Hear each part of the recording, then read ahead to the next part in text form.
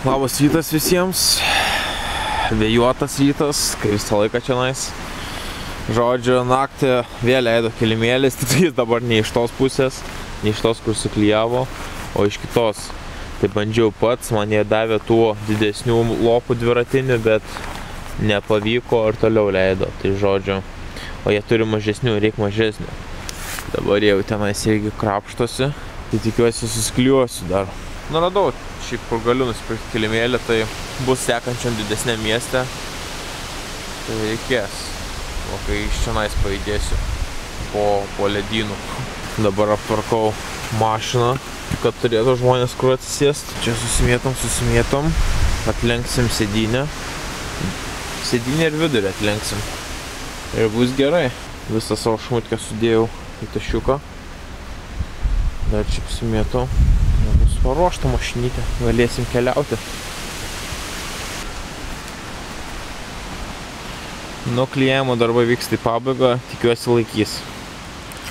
Nes jau antram naktis visiškai beveik nemiegu. Nu, biški pamiegu.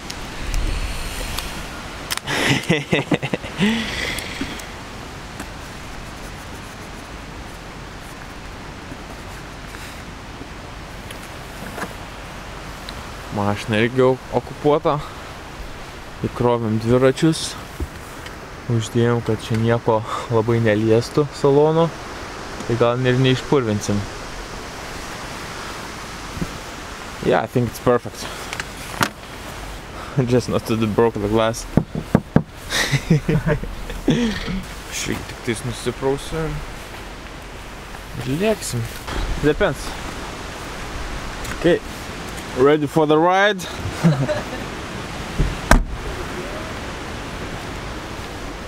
If you want, you can put some equipment here on the wheel. Uh, It's free space.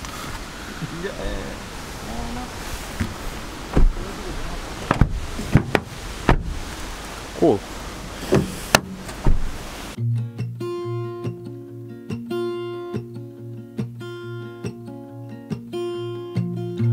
There's a lot of colors. I don't know where to go. See a lot of colors. Only feeling blue. There's a lot of colors. Lost within a haze. Don't rely on others to get you through the maze. Are not the same for me. Standing by the shore while you're on the open sea. Cannot take this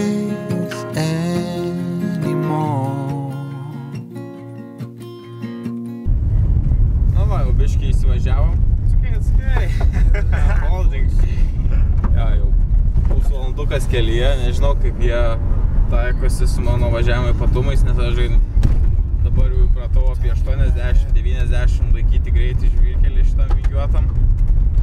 Jau kažkaip savekas jaučiuosi. Jie nežinau, ar saugiai jaučiasi kartu su manim važiuodami.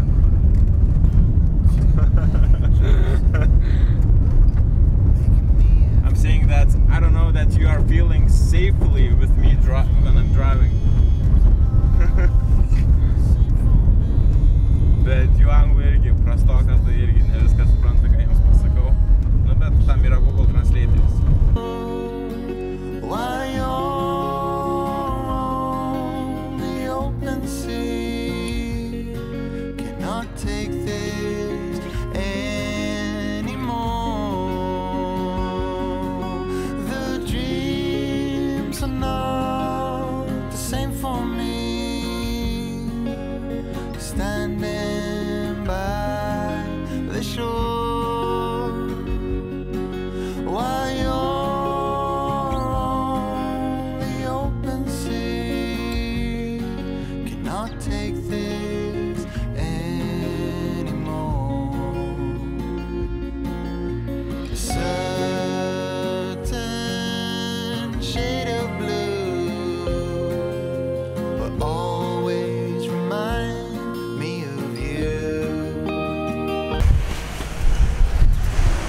Nu viskas, atvykom į miestelį, jų hoteliukas, tai čia nais praleis naktį rytoj ryte išskrenda pro Santiago link savo namų, ten dar į šiaurę.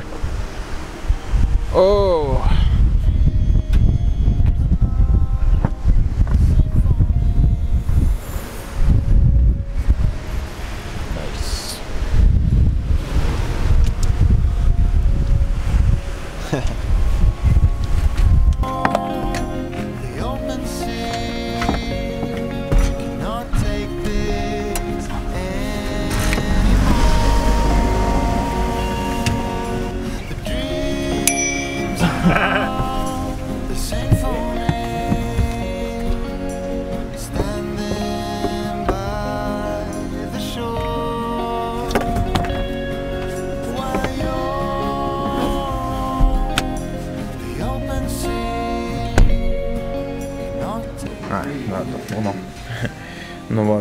jau atnešė pietus. Šakelė. Šakelė man šiandien stato pietus. Pasistačiau mašiniuką, greitai pavalgau, juos palieku hoteliukį. Ir, e, ir viskas, įsiskirstysim. Smagu, nes jiems bet kokiu atveju šiandien reikėjo atsidurti čia nais, o kai tiek mažai mašinų ir tiek jų bagažo, tai čia klausimas, kas būtų šiandien norėjo juos sustoję paimti, tai smagu, kad bent va tiek išėjo jiems prisidėti. Pats kadangi biški išstrigau dėl to ledino, nu, bet jau rytoj eisim, šiandien nuvažiuosim pafilmo dar prie jo. Tai va, bent savo nenaudingą laiką išnaudoju kažkam naudingiau. Jo.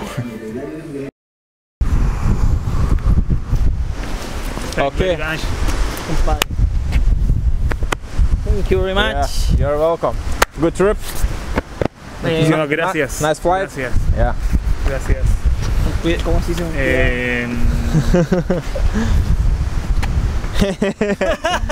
Yeah, it's dusted. Don't touch it. Yeah.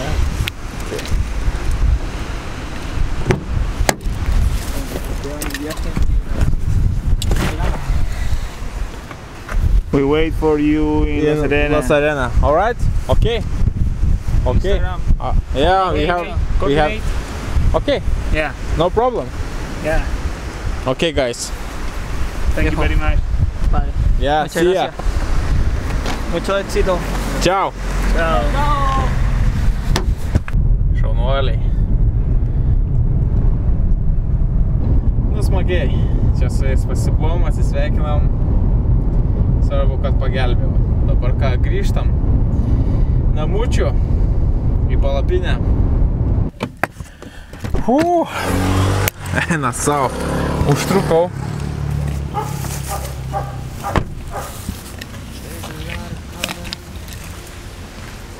Nu bet Trumpa keliukučia, kur atvažiavau. Gerai, einam pirkti Glacier Exploradas.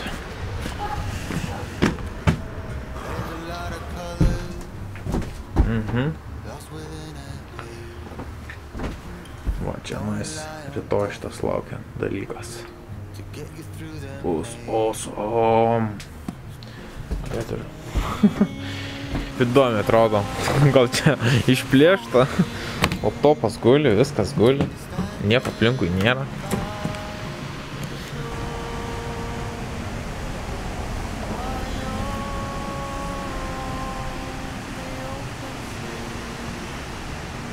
How old, how old are are you? 26. I have the insurance. Life insurance. You have injuries. Yes, yes, yes. Which? Uh, Heymondo. For. for? Something? no, no, I'm vlogger. Okay. Vlogger, yeah. I will. Uh, I will take the drone. It's okay? Mhm. Okay, cool. Nu, kur yra geros žinios, ten yra ir blogos žinios. Tai va, kol suvežiojau šaikelę į oro uostą į miestelį, nieko. Gavosi šnipštos iš kilimėlio, tai nei ant jo normaliai miegoti. Aišku, nežinau kaip greitai išsileido, gal įsileido lietai, tai tarkim prisipūti ir gal 2 valandas nusmigtum dar ant jo, paskui vėl prisipūti, vėl 2 valandas nusmingi. Bet finale tai nieko gero, tai nuėjau į tą patį kioskelį, čia nais už tų krūmų, kur buvo tas Glacier Exploration, tai mačiau, jie turi kilimėlį, tokį sulankstomą. Tai užklausim, kad gal gali paskolinti, tai sakė, ateik prieš septynės žinosim. Tai būtų gerai, o aš tai vis tiek pasieksiu didesnį parduotuvę su kilimėliais, su visa turistinė įranga už kokių 400 kg, nu tai gerą dienelę kelio ir nusipirksiu tą kilimėlį kitą. Bet dabar va reikia kažkaip biškai išsisukti iš situacijos, nes nu blemački šią naktį tai dar norėtųsi išsimiegoti, nes rytoj visa diena ant ledyno, tai nesinori būti tokiam dužusiam. Jau šią naktį aš irgi vėl kankinausi, tai irgi toks dužęs, bet rytoj tai norėtųsi būti žvalesniam.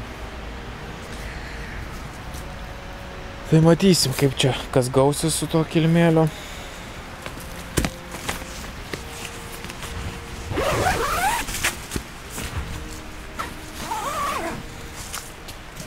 Kol dar yra galimybė, reikia ir į dušą nueiti. Taip, tai čia nais turim dušą. ir publika. Kauzi, kauzi atmosfera. Ir šviesa. O. Čiubliavačkai. Pakeis biškį, biškį apšvietimą galėtų būti siaubo filmų. Koks interpas. Bet sakė, šiltas vanduo yra. Pasinaudosim. Toliau einam. Apžvalga. Oi. Ups. Oi, oi.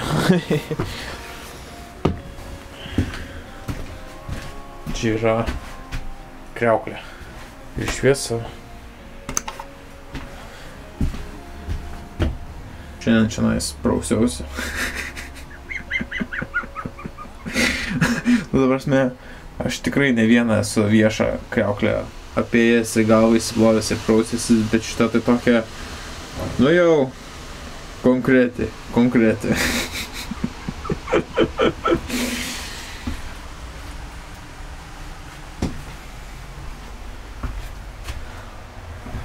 Evacuation.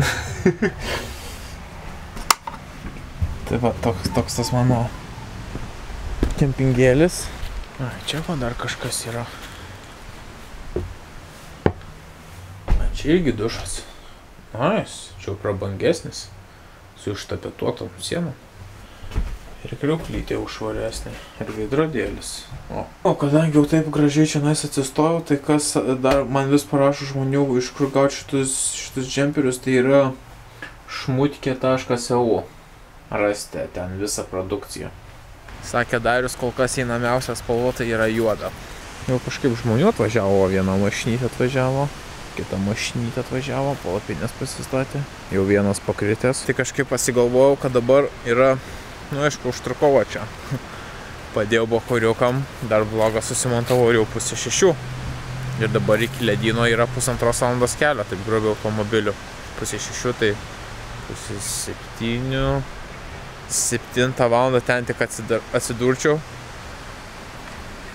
Pagalvojau deginti kurą, 3 valandas važiuoti pirmyn atgal. Vien tik šiaip, kad apsidaryti, nes rytoj vis tiek tenais varysim, tai galvoju skipinu. Rytoj jums viską parodysiu. Šiaip, va, ką dar šiandien norėčiau droną pakelti, bet tie gūsiai tai truputį gazina. Nes čia tokia užeina geruliai, kad pff, va rytoj bus dvigubai silpnesnis vėjas, tai paklausiau to gido, sakau, kaip ant ledyno droną galiu pasimti. Jo, jo, sako. Tai va, gal pavyks gerų drono kadrelių padaryti virš ledyno. Ir po ledyno, jeigu leidžia oro sąlygos, plaukiu su kajaku iki urvų. Jeigu neleidžia oro sąlygos, jau spjaunu į kajaką ir tada tiesiog praplaukiu su motorinė valtelė. Čia kas valandą maršrutizuoja dažnai tai nebu, nebus didelių problemų, manau. Ir visą tą padaręs, nusimaudau, sėdu į mašiną ir važiuojam į šiaurę. Jo, tai va rytoj tokia bus labai labai labai busy diena vien dėl to, kad tik tais nuo rytojus orai pagerėja. Jei ne orai tokie prasti, tokie subjūri ir besikeičiantis, tai čia būčiau viską ant vietos greitai pasidaręs. Ir dronus suskraidęs, ir baidarę suplaukęs, ir pakempinės, ir ledynų prokopės, ir visa kita, bet, nu, kartais kelionėse ne viskas taip greit vyksta ar darosi kaip norėtųsi. Jei, davė. Ačiū. Nu va, pamiegosim ant šito. Kažkas klausė, dėl, dėl ko aš miegu ant pripučiamo, o būtent ne ant tokio. O. Tai pagalvokit, kiek toksai užima vietos ir kiek užima pripučiamas vietos. Taip, aš mašinai turiu daug vietos, bet, bet atskristi į Čilę, tai reikia viskai bagažą susidėti. O mano planas nebuvo taip atskristi tuščiom ir šiandien viską susipirkti. Tai todėl viską rinkausi kompaktiškai. Ir šiaip man ant pripučiamo smagiau yra. Bet jeigu būtų buvę savaime prisipučiantis, tai jie kur kas storesni, tvirtesni negu šitie yra pripučiami ir yra savaime prisipučiantis. Tai čia du skirtingi dalykai. Tai šitas dabar aš kur turiu, tai yra pripučiamas. O savaime prisipučiantis tai buvo tas Skandinavijos kelioniai Rudinojaus pradžioje termorestas, oranžinis, kuris man tapo balionu. Dabar šitą turėsim. O, gerai, po dušiuko. Fresh, fresh. Bet dušas, tai žinokit, 110 balų.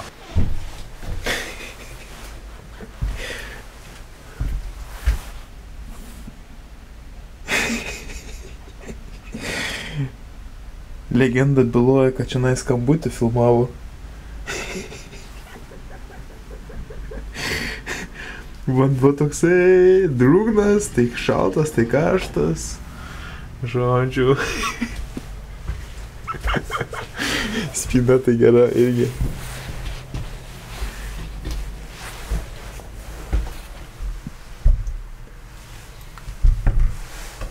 Čia kažkoks įsukasi. Ai, va, kaip čia.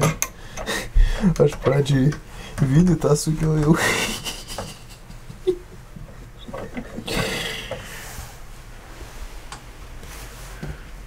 Va, viską. Fortkiai yra, kad matytum, kas ateina. Kai labai liūdna gali ir pasikarti.